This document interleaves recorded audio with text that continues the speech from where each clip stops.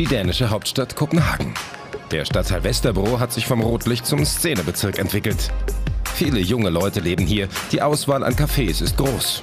Über dem Café Zentral befindet sich das vermutlich kleinste Hotel der Welt auf nur 12 Quadratmetern. Das Zimmer. Live Tingwed hatte die Idee, den leerstehenden Raum im ersten Stock umzugestalten. In dem Haus aus dem Jahr 1905 lebte früher ein Schuhmacher. Jetzt ist hier ein komplettes Hotelzimmer entstanden. Es gibt natürlich viele Hotels, auch teure Hotels. Aber da will doch niemand wirklich drin wohnen. Aber dieses hier ist Hygge, wie wir in Dänemark sagen. Es ist gemütlich, es ist warm und es ist einfach schön, hier zu sein. Wir wollten einen Raum schaffen, den man nicht wieder verlassen will. Der Plan geht auf. Seit Juni ist das Hotel geöffnet. Inzwischen ist es fast immer ausgebucht, trotz eines Preises von 200 Euro pro Nacht. Der kleine Raum, liebevoll gestaltet, jeder Quadratmeter optimal genutzt.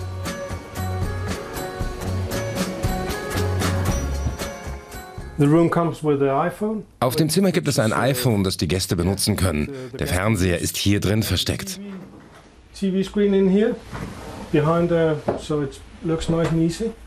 Das kleine Telefon hier ist für unten fürs Café. Und wenn Gäste kommen, kann man den Tisch ausziehen. Einer kann hier sitzen und da zwei.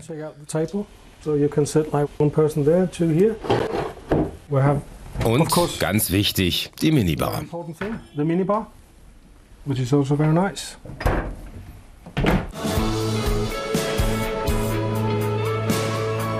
Die Gäste sollen sich wie zu Hause fühlen. Und trotz der Enge muss auch auf ein vollständiges Badezimmer niemand verzichten. Abends, wenn das Café geschlossen ist, haben sie das ganze Haus für sich allein.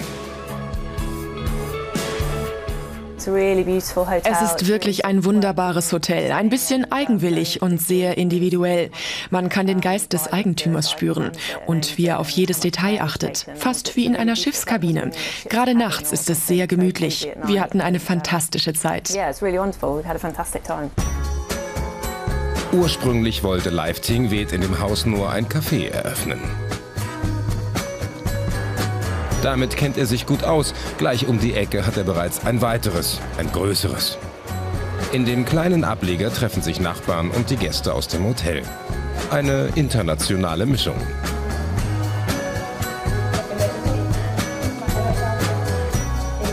In der uh, vergangenen Woche hatten wir Gäste aus Kanada, aus Japan und Kasachstan. Ganz lustig, richtig international. Quite fun, yeah. So it's worldwide. Das vermutlich kleinste Hotel der Welt. Eine zentral gelegene Oase mitten in Kopenhagen.